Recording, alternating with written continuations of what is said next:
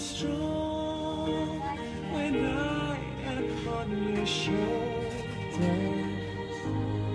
You raise me up to more